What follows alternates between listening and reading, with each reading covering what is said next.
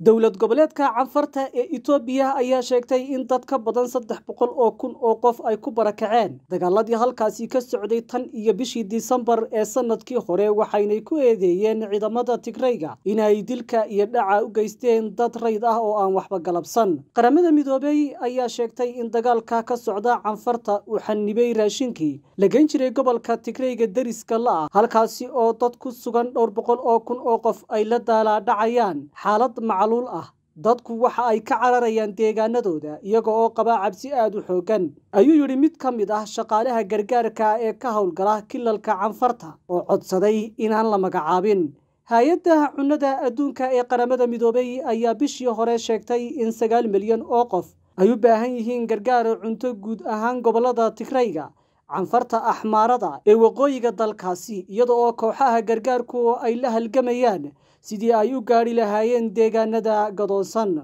dagaalka ayaa ka qaraxay gobolka tigrayga bishii noofembar ee sannadkii labadi kun iyo labaatanka halkaasoo ay isaga hor yimaadeen dowladda itoobiya iyo xulafadeeda ay ku jiraan ciidamada canfarta iyo dhinaca kale ee ciidamada. Daacadda u ah jabhadda xoreynta shacabka ee tigrayga ee t b l f oo ka talisa gobolkaasi colaadan oo ka aloosan waqooyiga itoobiya ayaa waxa ku dhintay. Colaadan oo ka aloosan waqooyiga itoobiya ayaa waxaa ku dhintay kumanaan qof oo rayid ah iyada oo maalmihii kalena ay ku barakaceen saddex boqol oo ka tirsan itoobiya oo dalka deriska ay yihiin ee suudaan. Xukuumadda canfarta ayaa bayaan ay soo saartay isniintii ku sheegtay in kooxda t b l f ay soo gashay gobolkaasi bishii disembar bayaankani ayaa imanaya xilli ay dowladda dhexe ee dalkaasi. Ayaa sheegtay in kilalada waqooyi ee canfarta iyo axmaarada ay ku sifeeyeen fallaagada duulaanka ku ahayd islamarkaana ay dhinacyadu isku diyaarin haatan in la wada galo wada xaajoodyo nabadeed iyadoo ooda laga qaaday maxaabiis ku xidhnayd iyadoo ooda laga qaaday maxaabiis ku xidhnayd arrimo siyaasadeed iyo mucaaradeed. Ay kala hor yimaadeen